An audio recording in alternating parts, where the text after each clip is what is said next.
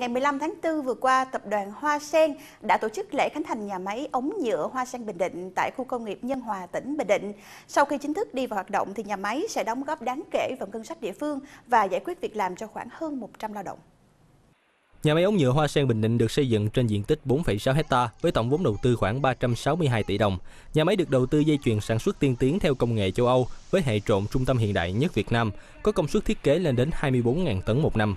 Công nghệ đun ống của Đức cho phép nhà máy sản xuất được ống cỡ từ 21mm đến 315mm với nhiều quy cách và màu sắc khác nhau, đáp ứng nhu cầu đa dạng của người tiêu dùng. Tập đoàn Hoa Sen còn thiết lập quy trình quản lý chất lượng sản phẩm nghiêm ngặt khi trang bị phòng thí nghiệm với hệ thống máy móc thiết bị hiện đại có xuất xứ từ Mỹ, Đức, Nhật Bản, Canada, v.v. Nhà máy ống nhựa Hoa Sen Bình Định là dự án thứ ba của tập đoàn Hoa Sen tại tỉnh Bình Định. Trước đó, HSG đã khánh thành nhà máy ống thép Hoa Sen Bình Định và động thổ dự án nhà máy thép Hoa Sen Nhân Hội Bình Định.